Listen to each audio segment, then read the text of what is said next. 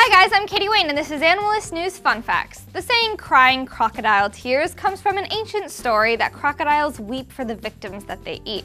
Of course, that's not entirely true. Crocodiles do cry while eating, but it's because air is forced through their sinuses and empties their tear glands. Whether they're sincere tears or not, butterflies and bees don't seem to care. In 2013, researchers spotted them drinking from the corner of a crocodile's eyes. According to this month's issue of the Ecological Society of America, the insects were probably trying to gather minerals and protein. As it turns out, vegetarian animals may have a hard time finding enough salt to eat on land. Although there's plenty in the ocean, minerals can become rare in the surrounding soil. To survive, insects will drink sweat, urine, blood, and, of course, tears. I mean, Seriously, we just talked about this. What's the weirdest thing that you like to drink? Be sure to let me know in the comments below. Also, be sure to check out these videos over here and subscribe right here. I love you all, and I'll see you next time. Bye. Mwah.